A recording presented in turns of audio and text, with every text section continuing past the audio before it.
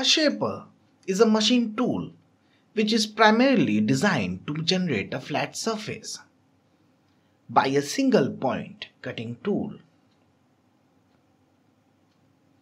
Besides this, it may also be used to perform several other operations as well. These operations are explained here.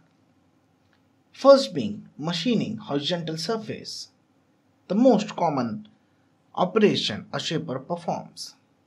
Second is the machining of vertical surface. Third is the machining of a angular or eventually a inclined surface. Fourth is the slot cutting.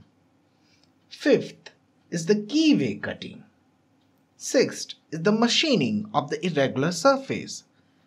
And last but not the least, machining splines and cutting gears.